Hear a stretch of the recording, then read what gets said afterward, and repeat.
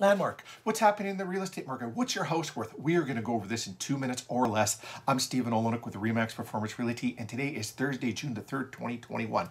Currently in Landmark, there are three residential detached homes on the market, and we are only going over resale homes, nothing with new builds. If you want any new build information, just reach out to us and we'll put a report together for you on that. Anyways, three single detached homes on the market. Two of them came to market in the last 14 days. There's been zero go pending and zero go sold in the last 14 days.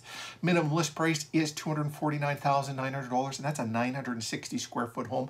Maximum list price is $449,900 and that's a 1,830 square foot home.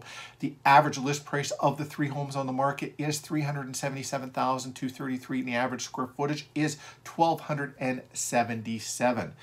Maybe you're curious of what your home is worth. We can do up a customized report for you, giving an exact um, amount of what your house is worth in Landmark, and it has gone up in the last year.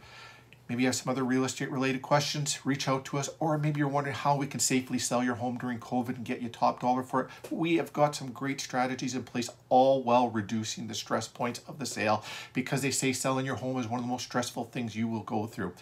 Reach out to us. We'd be happy to discuss that with you. Other than that, that's all we have for you this week, Landmark. I want to thank you for watching. We'll see you next Thursday, whether you like it or not.